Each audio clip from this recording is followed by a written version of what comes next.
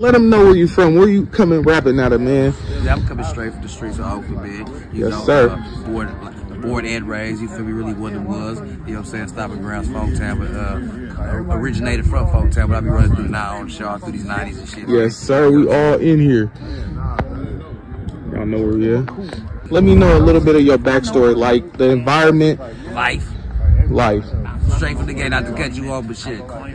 It is what it is. Life is, uh, the, the, the, growing up in the 80s. Yes, sir. 80s was different, nigga. 80s and through the 90s, way different. Yeah, give me a little bit of example, because I am from the 90s and you from the 80s. So give me an example. What's the difference, man? culture. You know what's going on. Way motherfuckers live, way motherfuckers dress, way motherfuckers talk, way motherfuckers interacted with you. You know what I'm saying? On a daily, way motherfuckers uh, uh, uh, wasn't clout chasing and wasn't about none of that. It was it was you presenting what you was doing organically. You know what I'm saying? Different styles. Number of flavors drip, dripping from this motherfucker. You know, highly influential.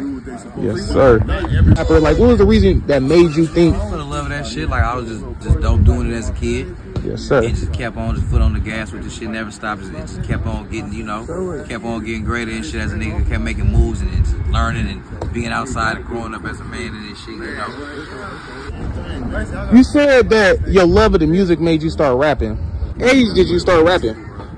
Say about like eight, nine. I used to make the little tapes and shit. The high speed dubbing. School. We used to have to put the uh, tissue inside the tapes and shit, put it in there, boop, hit the uh, record and play to put the beat on the beat, put the beat next to the uh, uh, uh, the boom box and shit with Yes, the other sir. little boom box and shit, record it like that to take it over to your doubles and shit. Oh man, look, I come from that era, nigga. So I was doing shit like that over instrumentals, and I would turn down the motherfucking treble and turn the bass all the way up, so I'd be rapping over the other nigga shit, like you know, so it sound hella muffled and shit.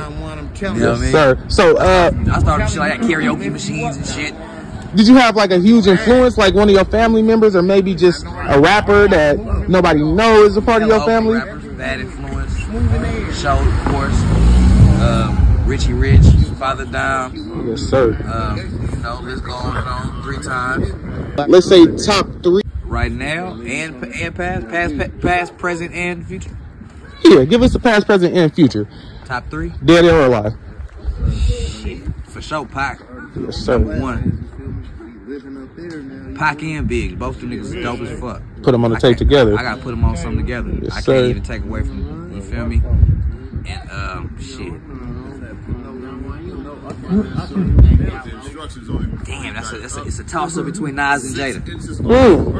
It's a toss up between Nas and Jada. Okay, okay. I've, I've been on them. Nas, Jada, and Fab. Ooh. Nas, Jada, He said you can't forget the Oakland It's a legend. toss up between them niggas right there.